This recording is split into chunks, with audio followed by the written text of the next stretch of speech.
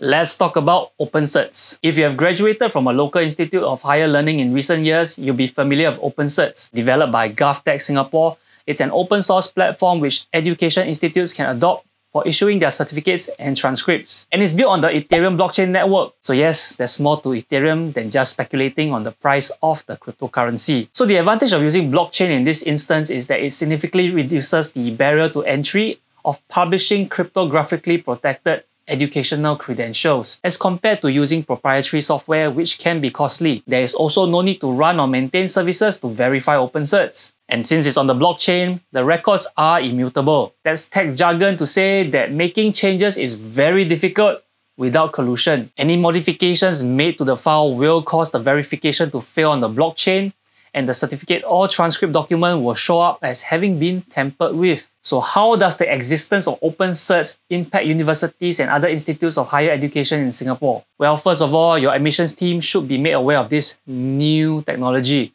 and actually have the link to the OpenCerts website to do verification and know what an OpenCerts document looks like. Secondly, your processes might need to be changed to accommodate the fact that printing the certificate discards all cryptographic protections built into the OpenCerts, which means printed certificates cannot be considered authentic. This second part is especially important because traditionally, admissions teams do a verification of certificates by physically viewing the originals, making copies, and making an indication that it's a certified true copy. But if your admissions team is telling prospective students to provide printed copies of their certificates or transcript, it makes your institution look very technologically backwards and may even reduce enrollments if said prospective student was trying to enroll into a tech-related program with your institution.